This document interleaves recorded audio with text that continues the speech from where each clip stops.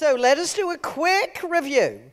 You focused, structured on their needs, stories that are like scenes from movies, burned into your prospect and customer's mind. And then let's look at the next level that will take your presentation and conversation to a whole new level. I am on a personal crusade and failing miserably in some parts of my life. And that is to make sure my clients sound clear, concise, and credible.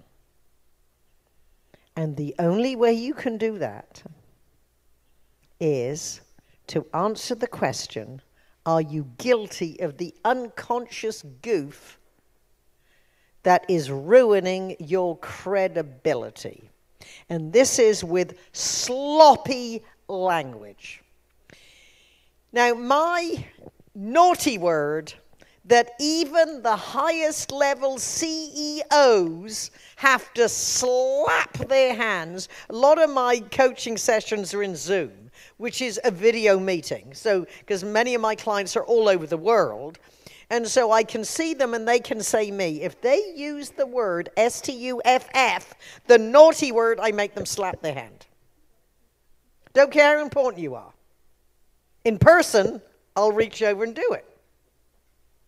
Stuff is debris and rubbish and does not belong in your sales conversations. I remember hearing a charismatic executive at one of my clients' meetings. They had just spent $40 million in this new wonderful technology.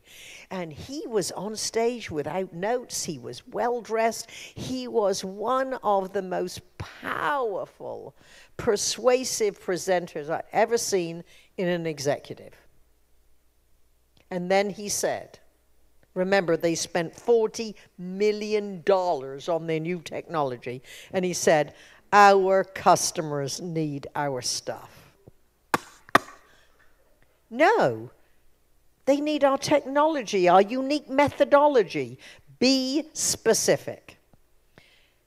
Stuff is a word you should only use at Christmas and Thanksgiving when you are in the kitchen talking about preparing dinner. Avoid empty language. And that is not the only word. For example, the question I ask my clients more than any other is if it weren't a thing, what would it be? I sat at the back of one of my speech coaching camps, and speakers kept getting up. There are three things that'll make you successful. There are four things that'll help you make a sale. There are five things. You listen to the news. I'm, I'm a great consumer. Oh, I love listening to experts on the Sunday morning talk shows. And you hear, the thing is, no, I think they mean, my point of view is. Or the main idea here, or the biggest challenge here, if it weren't a thing, what would it be? Because again, a thing is not specific. You might understand what we're talking about, but if you take this information in isolation, it doesn't make sense. For one of my biggest clients, I coach a hundred brilliant engineers twice a year to deliver technical presentations at their customer conferences. Now, what is added to the complexity is at last year's meeting, we had customers from 71 countries. In Silicon Valley, this is an international audience only driving 50 miles from my house. Unless you are specific, if English is your second or third language, you do not understand what is meant in the isolation of the sentence. So, one of these brilliant engineers said, There are two things people love about. So I asked, if they weren't things, what would they be? Innovative upgrades. I said, There are billions of people in the world. What people love your innovative upgrades? He said, Systems administrators. Now, can you understand?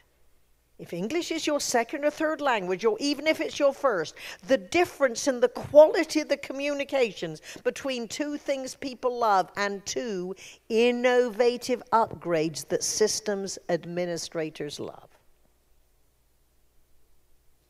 Now, the only way you can do this in your more stressful, formal conversations or presentations, even if you, if you develop relationships informally, how you speak needs to sound conversation. It's just like a speech that Don and I might give. We want it to sound conversational but it's not a conversation. Just as your presentation or sales conversation is not just a conversation, as you'd have with your friends, because you think in advance. What is the best way to ask the questions I need to ask? What is the best way to convey our benefits? What is the best way to highlight their priorities as we can serve them? You think in advance. So it is prepared, well thought through conversation. Because I don't care how seasoned you are, when you have a big opportunity, you are nervous. I've been paid to speak for 40 years. Last night, didn't sleep nearly as well as the night before. Because this is an opportunity. You paid your money, you inconvenienced yourself, you invested your time. Even as a seasoned presenter, this is nerve wracking. So, what we do is take to the more stressful situations that we have in sales, we take what is habit and what is normal and what is comfortable, even if it's not effective. This is why I challenge you to revisit what you say and to take presentations and sales conversations to the level of preciseness that you need. We need to build these habits in everyday life. You will not improve what you're not aware of. Which I'm going to challenge you informally, but in your sales meetings, Make a habit of delivering presentations and recording them. Make sure you say to your spouse and your co workers, I'm working on being more specific. If I say stuff or things, ask me specifically, what do you mean? I guarantee the quality of your communications will be at least 50% better just making that one change. Now, tons. I'm sorry if you can't weigh it, it's not tons. You don't have a ton of ideas, you don't have a ton of notes. You have pages of notes. You have dozens of actionable ideas. If you go to a trade show and invest thousands of dollars for a booth, if one of your sales team comes back and says, Boss, we got a ton of leads, how can you manage that? They didn't have a ton of leads. If they had a ton of business cards, they would still be there trying to get the forklift to pick them up. What you can manage is we invested $15,000 in the trade booth. We took four of our professionals and during the 12 hours that were open for the attendees, we had conversations with close to 500 people. 120 were our existing customers and 12 of them have already booked demos of our new technology, and the internal sales team is following up on the other 25 we marked that this is a good, a good time to follow up with them.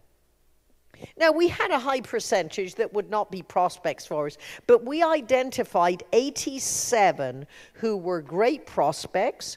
12 of them already have the, our next conversation book. The internal sales team have committed by the end of this week they will have booked appointments or gone to the next level with the rest. That you can manage.